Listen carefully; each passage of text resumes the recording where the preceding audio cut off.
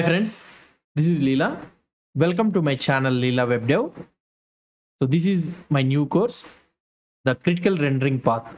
That means how the browser performance the website. So how we can increase the performance of a website.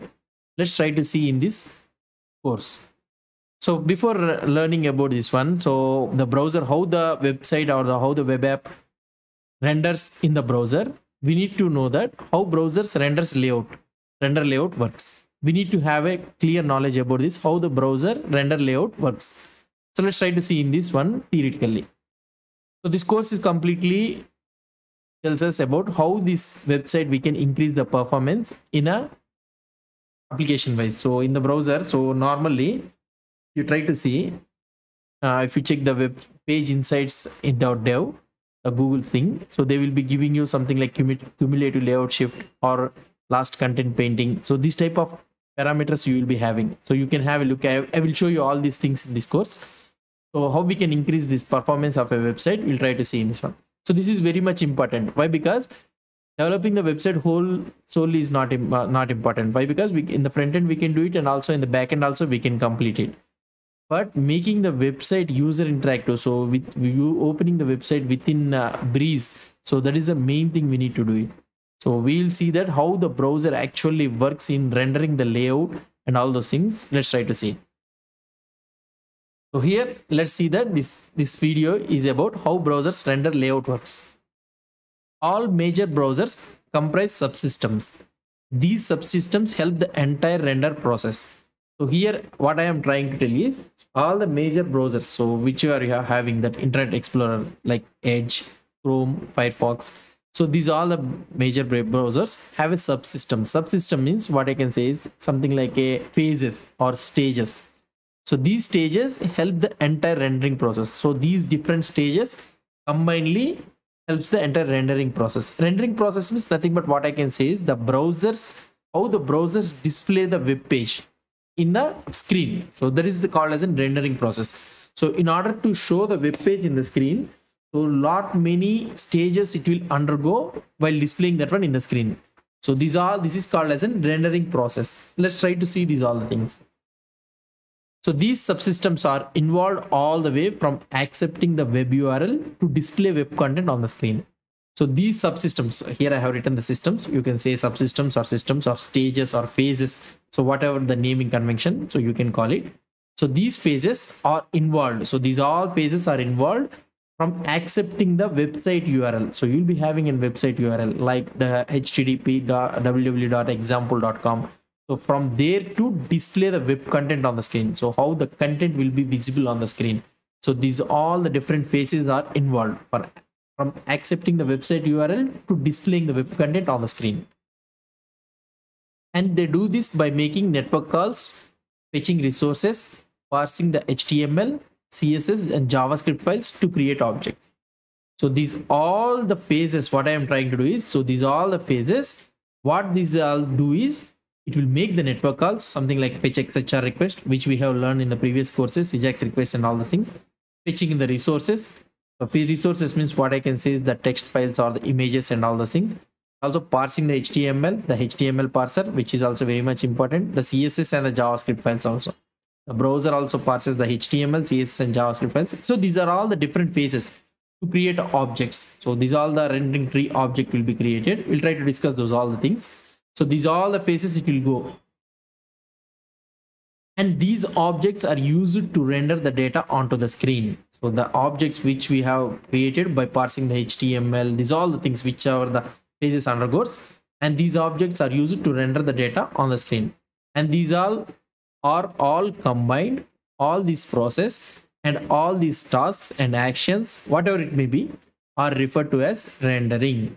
So these are all the phases what is that one? Making the network calls fetching the resources parsing the html css and javascript files everything and creating those all things in your dom object everything.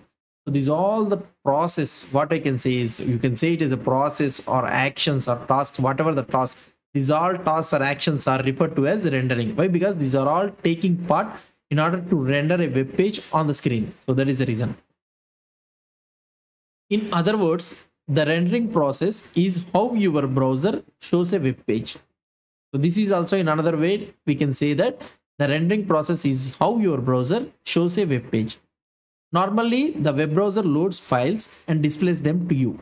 Normally the web browser, whatever the web browser you're having, it will load the file and displays them to you. So this is the only the thing which you all the people, most of the people knows. So it will load the file, whatever the HTML file it is have it's needed, it will load the file and displays them to you normally the browser figures out what to display to you based on the file type it receives. So this one you already understood. Understood. When you code in JavaScript, you are not coding in isolation. So this is also very much important. You need to understand when you are coding the JavaScript code is there, right? So you are not coding in isolation. Isolations mean separate environment. Your JavaScript code interacts with the other environments. So when you are writing the JavaScript code in the browser means in the browser, not only the JavaScript code executes, it interacts with other environments. So those environments means nothing but what I can say is the JavaScript engine works with three other engines in conjunction. Like the JavaScript engine, which is more famous, V8. So this one in conjunction with the, it will work with the rendering engine. And also the last one is the browser engine, what I used to say. Normally we can say it as a browser. So these all combinedly it will work. So this is the main thing. So JavaScript engine normally it can be V8 or anything, Chakra or anything. The rendering engine, so which is a very much important, which we are going to learn in the future videos, and the browser engine, nothing but a browser. So these all the things combinedly it will work. The rendering engine lives within the browser. This is one of the important thing. The rendering engine lives within the browser, and the rendering engine is a software. So it is a software. Most probably it will be written in the C++ and it draws the text and images to the screen. So the rendering engine main functionality is to draw the text and images to the screen. And this, this is a software. So software means you can know that. So series of steps or anything will be the rules and regulations. And the software most probably will be written in the C++. There are lots of layout engine. We can also see it as layout engine or rendering engine, including Gecko, Edge, WebKit. So these are all the famous rendering engines which you will be able to find. But one of the most popular one is the blink. Blink is just a rendering engine for the chromium project for chrome. In the chrome blink is the rendering engine we will be using. So this rendering engine we will be learning. This rendering engine is responsible for displaying the requested content so here the rendering engine is responsible for displaying the requested content how can it do this displaying so normally what i can say is the rendering can be done in four steps so this rendering process, whenever you request a URL or request a file, the rendering can be done normally in four steps. So the first one is that the rendering engine has to create the DOM and the CSS OM. So we'll learn about the CSS OM. So we know about the DOM. So first one is that the rendering engine has to create the DOM and CSS OM. The next three steps. So we told you about the four step, right? The first one is to create the DOM and the CSS OM and the next three steps all involve the rendering tree. So generating the rendering tree. It has to go through different phases for generating this rendering tree. So this is also very much important. The first phase is the construction of the rendering tree. The second phase is the layout of the rendering tree. And the final phase is the painting of the data to the screen. So these are the phases it will go so rendering tree is very much important we'll learn about this rendering tree lot of videos we'll be doing the first phase is the construction of the rendering tree. And the second phase is layout of the rendering tree. And the final phase is painting of the data to the screen. So we will take a look at all these things very detailed in the upcoming videos. So this is how actually briefly I want to say that how the browser's rendering engine actually works. So this is the uh, briefly. In the future videos, we will try to see about the more about this rendering engine and all those things. Hope you understood about this browser layout technique. If you have any doubts or any suggestions, please post the comments below to this video. And if you like this video, please do support me by subscribing to my channel. Thank you.